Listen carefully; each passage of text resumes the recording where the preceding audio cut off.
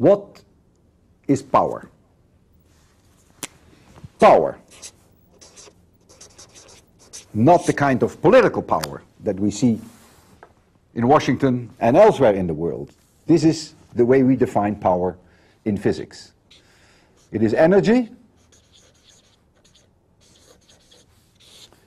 per unit time.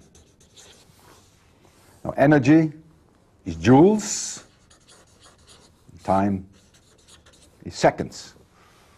Energy is work, that is Newton meters per second. It's the same thing. We sometimes call this watts. One joule per second is one watt. Power is a scalar.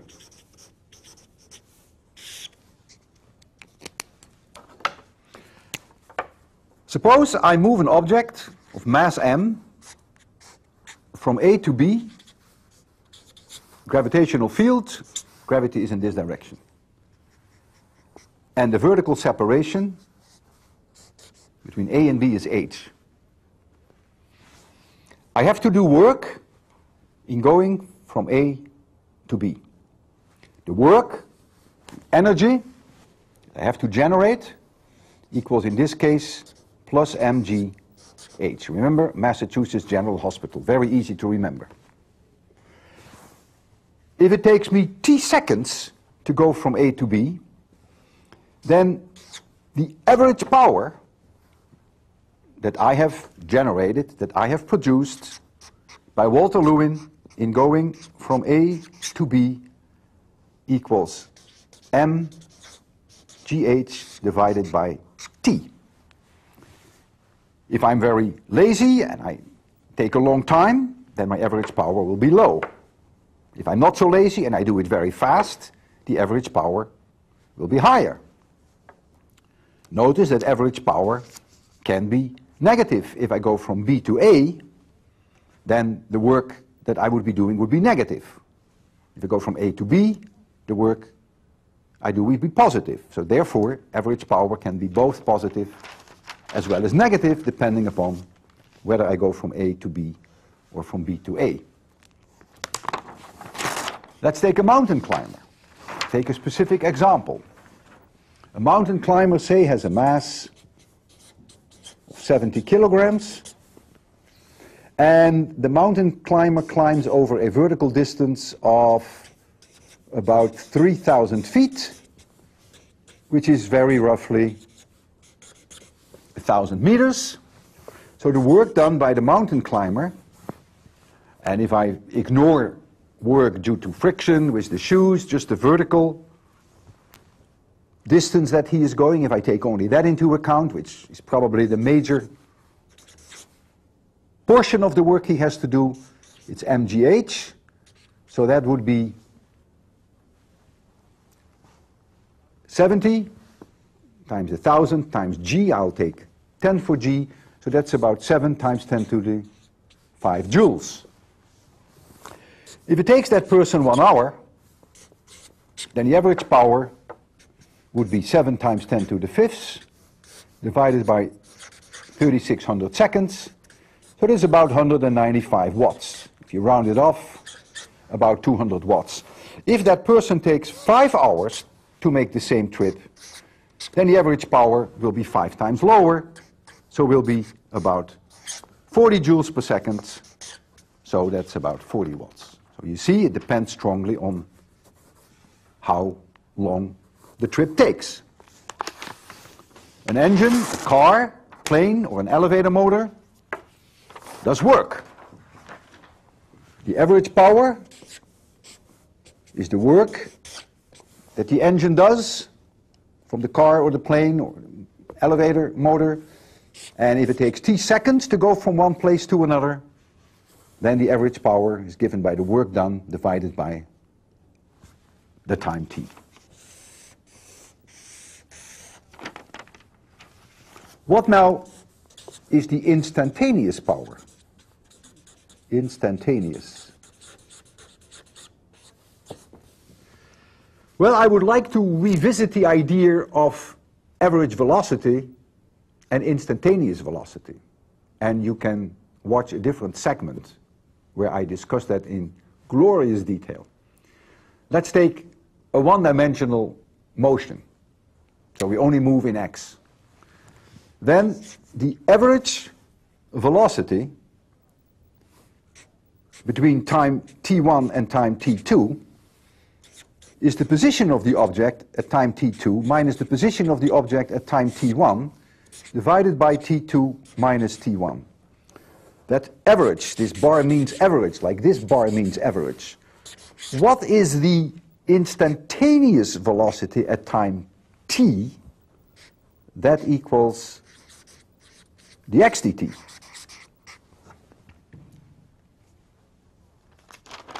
In a very similar way, can we now go to instantaneous power? Instantaneous power at a particular moment in time is dw dt. This is a little bit amount of work done in a very small amount of time. And in the limiting case for dt going to zero. So this equals the force at that moment in time, dot product dx, also a vector, dt, there's your dt. f dx is dw. We have to dt here. And so this becomes the force at that moment in time dot product with the velocity at that moment in time. The x dt is the velocity. And so you see that force is newtons, velocity is meters per second, so you get your joules per second, and you get your watts. This is scalar. So the instantaneous power is the dot product between the force at that moment in time, dot product with the velocity at that moment in time. Can the instantaneous power be negative? Of course, it can be negative, it can be positive, it can be zero. Power is a dot product between force and velocity. So all what matters is what is the angle between the two vectors. Suppose the velocity is in this direction and the force is in this direction. This angle is larger than 90 degrees. So the instantaneous power is negative. If you allow this force to act onto this object for some time, it's doing negative work. If the velocity is in this direction, and the force is in this direction, well, then the power is positive. And if the velocity is in this direction, but the force is exactly at 90 degree angles, then the instantaneous power equals zero. If you allow this force to act onto this object, as long as the force is perpendicular to V, no work is done by this force. Let's take a satellite in near-Earth orbit. It has a speed of 8 kilometers per second. So here is the satellite, and the satellite, say, is moving in this direction velocity v, and that is 8 kilometers per second. 8 times 10 to the 3 meters per second. The satellite has a thruster here, a thruster here, a thruster here, and a thruster here. And at this moment in time, we fire this thruster. So hot gas is coming out here with high speed, and that will provide a force in this direction. And let the magnitude of that force on the satellite, the magnitude be 1000 Newton. The instantaneous power is now the dot product between these two, but since they are in the same direction, the cosine of the angle is 1. So we get 8,000 times 1,000 is 8 times 10 to the 6 joules per second. This force will immediately increase the speed, which is the magnitude of this velocity, in this direction. Positive power. By the way, if the satellite were further away from the Earth and its speed were only 1,000 meters per second, then the power would only be 1 million joules per second. So power depends both on force and it depends on velocity. It's obvious because if its speed were eight times lower, then the work done by this force in the same amount of time would be eight times less because the satellite moves over a distance which is eight times less. So that's rather natural. Let's go back to our satellite, 8 kilometers per second. But now it's not firing this thruster, but let's suppose it is firing now this thruster. So now I'll make a new drawing, we get too confused. So it is going in this direction, 8 kilometers per second, and now this rocket fires, and now the force is in this direction. And let's assume that the magnitude of the force is again 1000 newtons.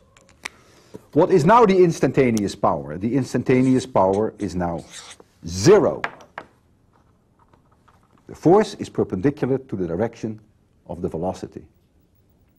There is no instantaneous increase in the magnitude of this velocity. As long as this force stays perpendicular to this direction of the vector v, the magnitude of this vector v will not change. The direction of v may change, but the magnitude will not change as long as this is perpendicular to this. Now, we take a situation, you guessed it, here is this satellite, and it's going in this direction, again 8 kilometers per second, but now I fire this rocket. Remember, we had four rockets. Gas comes out, hot gas is spewed out, and so now we have a force in this direction. So the dot product now gives me a minus 1. The cosine of the angle between them is minus 1. And so now the instantaneous power is negative. And the magnitude of the velocity, which we call the speed, will decrease as a result of this force. Now the mean power over the entire excursion. First we were firing rocket number one, which increased the speed. Then we were firing the rocket so that the force was perpendicular to the velocity vector. And then we were firing a rocket so that the force was in opposite direction as the velocity vector. I call that altogether one excursion. I could arrange things in such a way that the average power during this excursion is zero, because we have one portion where we have positive power, we have zero power, and we have negative power. So, even though the instantaneous power was only zero for one brief burn, the special burn, when the two were 90 degrees with respect to each other, in all other cases, the instantaneous power was not zero, but yet the average power can be zero. So never confuse average power with instantaneous power, just as you should never confuse average velocity with instantaneous velocity. Let's take a satellite in a circular orbit around the Earth. So here's the Earth. It's a circular orbit. And the gravitational force onto a satellite with mass little m is like so. The velocity of the satellite is like so. The velocity changes all the time. The direction changes. The magnitude does not change. The magnitude of a velocity vector, we call that the speed. The speed itself is a scalar. So the speed never changes, but the direction of the velocity changes. So the velocity vector does change. What happens with F, this is the gravitational force, dot V? Well, that is always zero, because no matter where you are in a circular orbit, this is always at angles 90 degrees. The angle here is 90 degrees. So the instantaneous power is always zero. Therefore, this force will never change the magnitude of this velocity vector. It will therefore never change the speed. This force is doing no work on this satellite. During this entire circular orbit, this force is never doing any work on the satellite. That's why the speed of the satellite does not change. However, the direction of the velocity does change under influence of that force. Give this some thought. None of these concepts are easy. So if you find it difficult, you're not alone. Don't feel bad about it.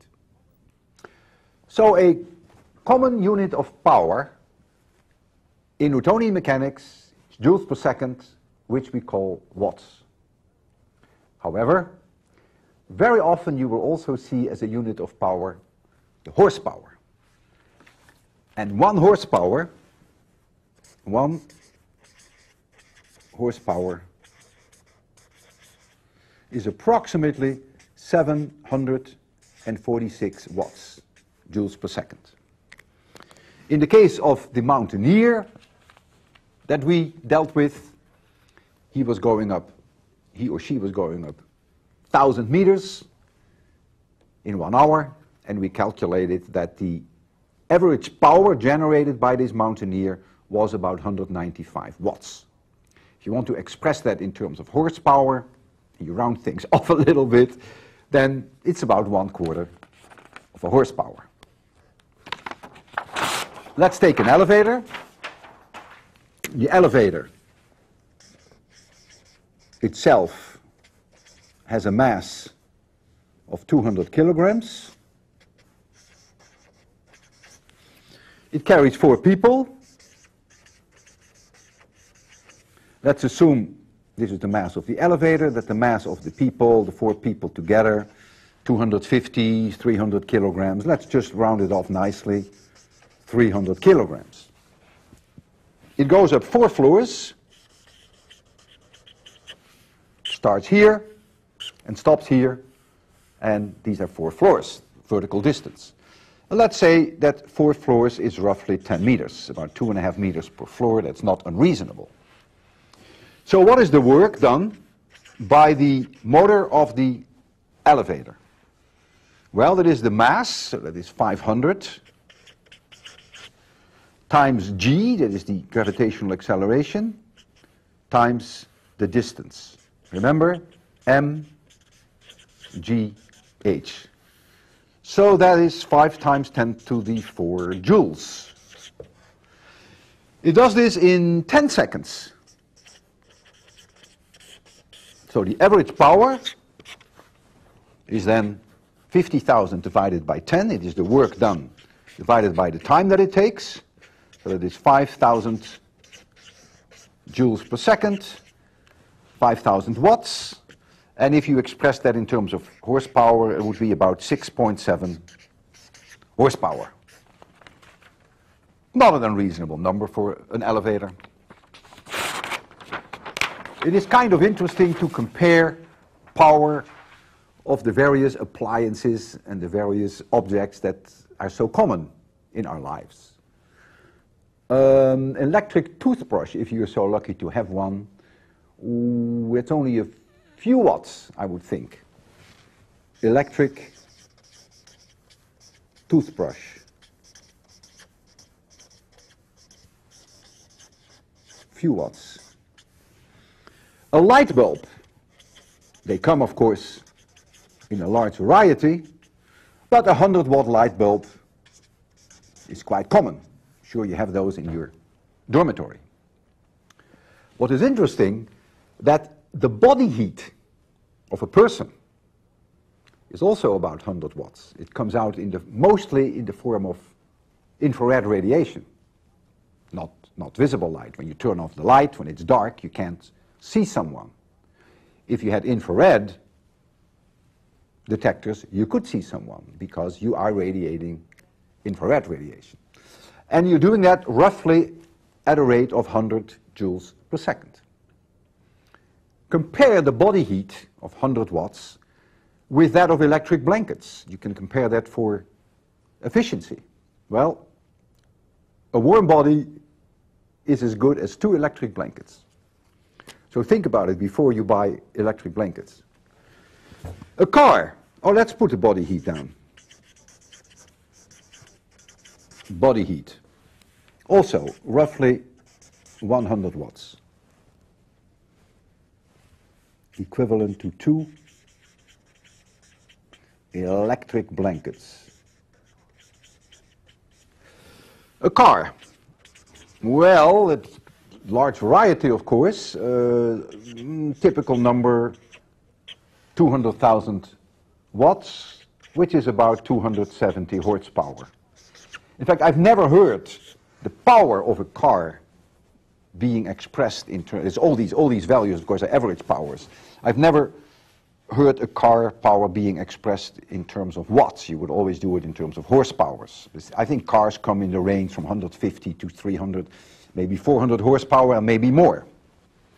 A Boeing 747 is about 200 million watts. So that would be about 270,000 horsepower. If you take the average consumption in the United States, all people together, cars, electricity, anything you can think of. So it's the average consumption that we have. How many joules per second that we consume in the United States. It is all energy, all energy. In the US, on average, is about 2 times 10 to the 12 watts. The sun, the sun's power is about 4 times 10 to the 26 watts. That is how many joules per second the sun produces. And if you know the distance from the sun to the earth, you can calculate how much of that power arrives at the earth at every square meter at the Earth, outside the Earth atmosphere. And that number comes out to be approximately 1 kilowatts. And that's an important number, 1 kilowatt per square meter, very roughly, rounded off. It's important because if you ever want to, to harvest solar energy, that is the very maximum you can ever do. All right, so much for power and average power.